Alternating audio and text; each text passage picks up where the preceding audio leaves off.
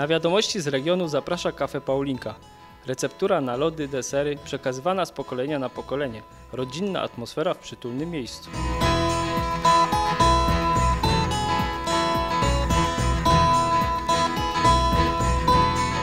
Kafe Paulinka, Twój najlepszy punkt na kawiarenkowej mapie Myślenic.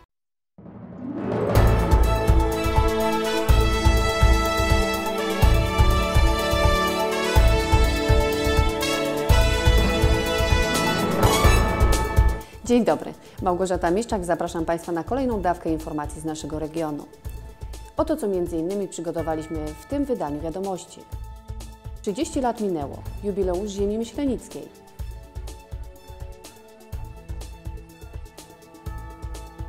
Hej Kolenda Kolenda, czyli powiatowy przegląd grup kolędniczych. Oraz otwarcie Centrum Zdrowia Psychicznego w Myślenicach.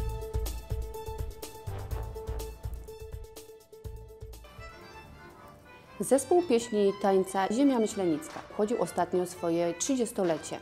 Z tej okazji zespół zaprosił gości i przyjaciół na koncert galowy, podczas którego wystąpili nie tylko obecni członkowie Ziemi Myślenickiej, ale również ci, którzy kiedyś do niej należeli. I dzisiaj na scenie, Szanowni Państwo, zobaczycie te elementy programowe, które mm, przez lata przekrojowo były prezentowane przez zespół pieśni i tańca. Między innymi te pozycje, które w 1987 roku, 21 lipca zostały zaprezentowane tutaj na scenie w Myślenickim Ośrodku Kultury. To między innymi pieśni tańce Banda Burek i Krakowiaki, mały i duży, czy pieśni i tańce falkowickie w wykonaniu chóry, które zobaczymy jako następną pozycję. Szanowni Państwo, zespół pieśni i tańca to 185 regularnie uczestniczących osób w zajęciach, ale dzisiaj w koncercie jubileuszowym to blisko 220 osób.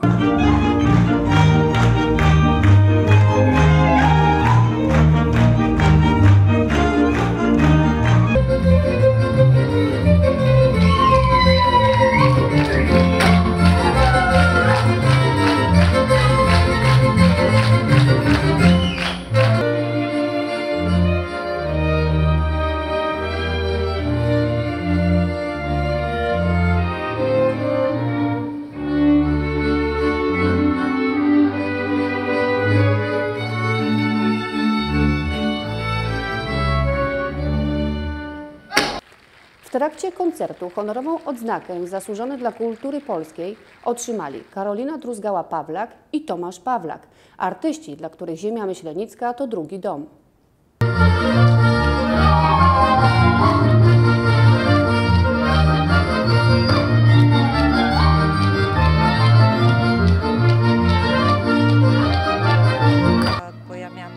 W ogóle w Kalifornii, e, nazywał się e, zespół Wistula i jak e, skończyłam w ogóle działania z tym zespołem, to stroje właśnie moje prywatne dałam, oddałam tutaj do, na zespół Ziemi Myszynieckiej, bo mama moja pochodzi z, z Pcimia. Jak Pani ocenia ich repertuar i ich wykonania? No, jestem w ogóle zaskoczona i bardzo e, cieszę się, że mogłam być na ten e, występ dzisiejszym wiecze, wieczerzy, bo, em, bo nie miałam okazji jeszcze zobaczyć ten, e, tą suitę nowosądeckie.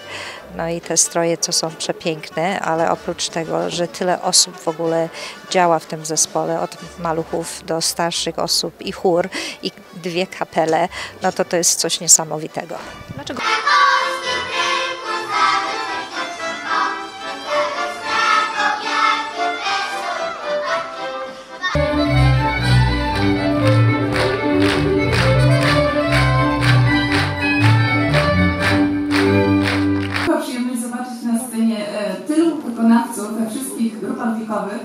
i oni wszyscy od najmniejszych dzieciaczków po najstarszych wychowanków tańczą, tak, tańczą, śpiewają i grają z tak ogromnym entuzjazmem, z taką wielką radością. To jest myślę ogromna wartość i wasza wielka siła, siła ziemi myślenickiej. Jeszcze w grudniu w ramach projektu współpracy polsko-niemieckiej zrealizowano projekt artystyczny Wspólny koncert uczniów Szkoły Muzycznej w Dobczycach i City Versmold. To rewizyta i zarazem pierwszy wyjazd młodzieży i dzieci Szkoły Muzycznej do Niemiec. 15 grudnia w Versmold zagrali oni wspaniały koncert adwentowy w Kościele Ewangelickim Świętego Piotra. Ten wyjazd stał się okazją do nawiązania i pogłębienia więzi muzycznych i przyjacielskich. 12 stycznia w Myślenickim Ośrodku Kultury i Sportu koneserzy sztuki mieli swoją ucztę. Otwarto bowiem wystawę prac Klubu Malarzy Związku Polskich Artystów Plastyków Okręgu Krakowskiego. Jest to wystawa, która y, swój początek, y, swoje, swoją pierwszą odsłonę miała w czasie ubiegłorocznych, lipcowych konfrontacji środowisk artystycznych Krakowa, kiedy to y, artyści byli prezentowani we w prawie wszystkich galeriach prywatnych i tych państwowych, szkoły głównej, jaką jest Akademia Sztuk Pięknych, Pałacu Sztuki, y, Bunkra Sztuki. Jednym słowem ym, Kraków miał możliwość i oczywiście widzowie, mam na myśli również odwiedzających turystów, zobaczyć czym jest środowisko, co ono robi, jak, jak się prezentuje.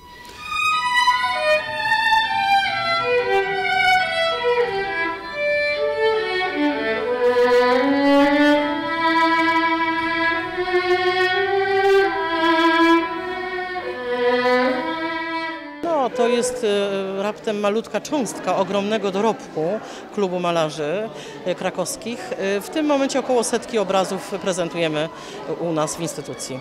Ja jestem członkiem również tego klubu, więc to jest taka współpraca e, w dwie strony. Oczywiście tu jest bogactwo i obfitość i temperamentów i wrażliwości e, malarzy, w związku z czym myślę, że to jest też ciekawość pewnego rodzaju, bo e, no nie jest to jednorodna wystawa, tylko wystawa, która niesie ogrom emocji i pięknie i, i, na bogato. Prace klubu malarzy ZPAP Okręgu Krakowskiego można zobaczyć w styczniu i w lutym 2018 roku w budynku Mokisu. Po raz kolejny w Dobczycach odbył się powiatowy przegląd grup kolędniczych. Hej Kolęda Kolęda. 14 stycznia na scenie Ercos Dobczyce zaprezentowało się 10 grup kolędniczych z naszego powiatu. W tym dorośli, młodzież oraz dzieci. Zgodnie z tradycją na scenie kolędowali wyłącznie mężczyźni i chłopcy. Występy przygotowano z ogromną dbałością o szczegóły tradycji kolędniczych naszego regionu. Teksty, melodie, rekwizyty, stroje wiernie oddawały kolędowanie sprzed lat. Noc jest w głowach przewracą. Dziś wieczora za tym gronie ja widział gwiazdę z takim wielkim ogonem. Ja muzykę piękną słyszę, a ze strachu ledwą. Podoba mi się co roku jak jest, to jestem na przeglądzie e, grup kolędniczych. No i tym razem też wybraliśmy się, chociaż nie mieszkamy już obecnie w Dobczycach, ale postanowiliśmy się wybrać. Tym bardziej, że tata występuje w jednej z grup. Przyjechaliśmy z Osiecza. em, Kibicujemy tutaj wszystkim drużynom. W zeszłym roku tata uczestniczył tutaj jako właśnie występujący z jedną z grup kolędniczych. O, kolędnicy z Burnetki to już tak dosyć sławni. O, tu jest uczestnik. Jadą do Bukowiny już oni też. A tutaj przyszliśmy zobaczyć właśnie jak poszło grupom pokibicować. A proszę powiedzieć, no właśnie, ile ma najmłodsze dzieciątko? Ma dwa miesiące, ale już jest przyzwyczajony, no bo z nami na próby jeździł i tak dalej, także widzimy, że też się mu to podoba. Starego Pana Boga jak najlepiej umieć, jak najlepiej umieć, ale tego maluskiego jest tego nie rozumieć. La, la, la, jest tego nie rozumieć. Przegląd miał charakter konkursowy, a zwycięskie grupy pojadą na ogólnopolskie przeglądy. Grupy dorosłych z Trzebunie, Lubnia i Kęczyna pojadą na karnawał góralski do Bukowiny Tatrzańskiej, natomiast grupy dziecięce z Tokarni, Trzebuni i Tęczyna zaprezentują się na ogólnopolskim spotkaniu pastuszkowe kolądowanie w Podegrodziu. Wszystkim grupom z powiatu myślenickiego życzymy oczywiście powodzenia. Na tych scenach występują, można powiedzieć, takie półzawodowe grupy kolędnicze. Natomiast wróciłem przed chwilą z Jawornika, byłem dwie godziny temu w Łękach, pełne sale, e, grupy kolędnicze młodzieżowe i dziecięce zrobiły ogromną furorę e, i jestem przekonany, a wiem, że miałem zaproszenie jeszcze, przepraszam, z, to, z tego miejsca, także uczniów i nauczycieli z Czasławia, bo oni dzisiaj też się tam bawią w Czasławiu, byli u mnie z kolendą, więc jestem przekonany, że całym powiecie i myślę, że na pewno w Małopolsce, nie mogę powiedzieć za całą Polskę, ale w Małopolsce ten, ta tradycja kolędowania jest i się cieszę, że jest. Jeszcze powiem jedną rzecz. Cieszę się, że są jeszcze tacy odważni i którzy chcą przychodzić z kolendą do domu. E, czy to są dzieci, czy to są dorośli. Ja sam w tym roku gościłem kilkanaście takich y, grup kolędniczych.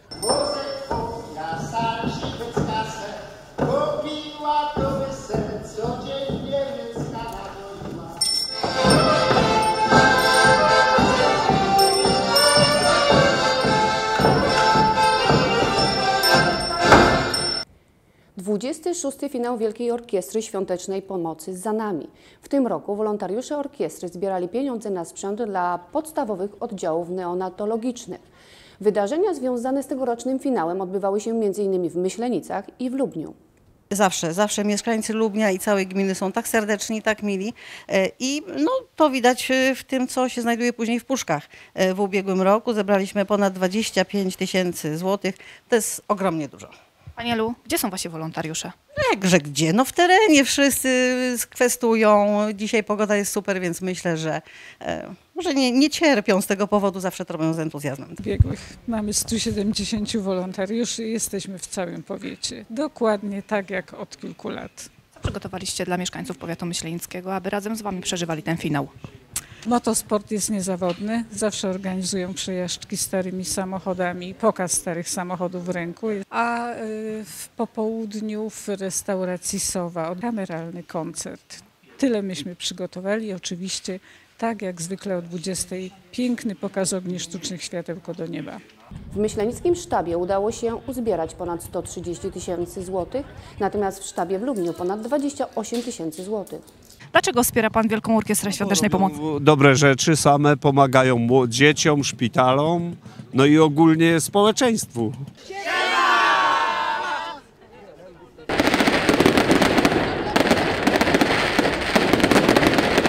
Styczniową tradycją w Sieprawiu jest finał powiatowego konkursu szopek bożonarodzeniowych, tradycyjnych i krakowskich. Tym roku do finału zakwalifikowało się 123 szopki, spośród których jury wyłoniło te najpiękniejsze. Prace oceniane były w siedmiu kategoriach. Kryteria są niezmienne od samego początku. Y, Pomysł y, księdza e, Jakubca, byłego wikarego, który był w Sieprawiu, jest taki, że e, szopki mają być własnoręcznie wykonane e, przez dzieci, przez młodzież. To znaczy, jako jury nie preferujemy, żeby były kupione elementy i ustawiane, natomiast y, bardzo pozytywnie oceniamy wszystkie elementy, które zostały wykonane przez, no, przez wykonujących. Nagrodę Grand Prix zdobyły szopki wykonane przez Natalię i Konrada Furmanów z Wiśniowej. Jedna z nich zostanie wręczona wicepremier Beacie Szydło. Powiem szczerze, że szopka y, Natalki zaczęła już powstawać w wakacje, żeby tego czasu nam troszkę wystarczyło. Natomiast y, Konrada Szopka była faktycznie takim przedbożonarodzeniowym już wstępem i wszyscy się zaangażowaliśmy tutaj. Dużo pomocy mieliśmy też ze strony taty, bo trzeba było ten postument przygotować. Jest ona ciężka i taka większa, jednak Natalia jest bardziej misterna, taka bardziej jak to Natalia powiedziała, akcent bieli. I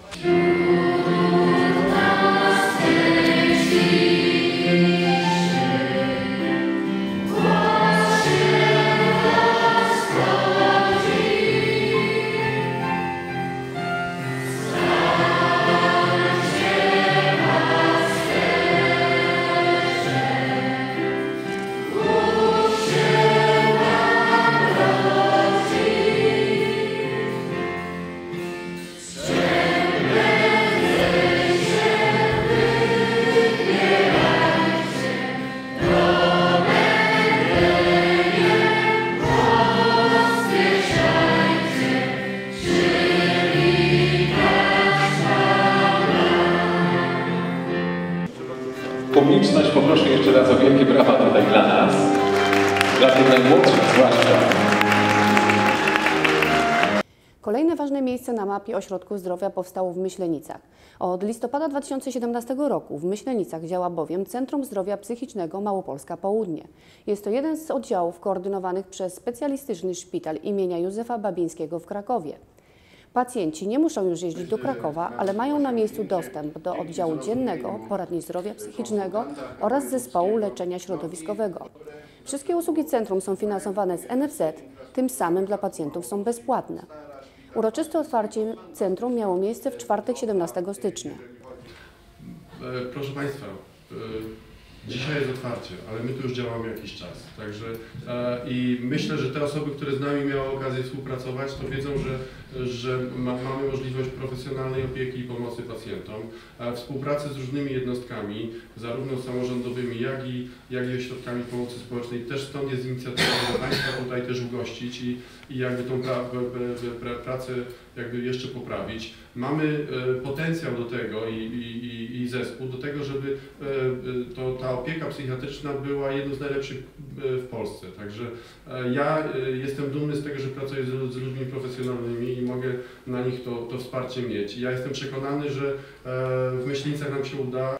W skład centrum wchodzi oddział stacjonarny, wchodzi oddział dzienny, wchodzi poradnia zdrowia psychicznego i zespół leczenia środowiskowego, więc droga pacjenta zwykle wygląda w ten sposób, że pacjent po leczeniu stacjonarnym kontynuuje leczenie w oddziale dziennym, ewentualnie w poradni zdrowia psychicznego. Jeżeli jest to pacjent, który nie może przyjść do poradni zdrowia psychicznego, nie może korzystać z pomocy w oddziale dziennym, wówczas przyjeżdża do niego zespół leczenia środowiskowego. Jesteśmy w stanie to wszystko pacjentom zaoferować. Do waszego centrum trzeba mieć skierowanie?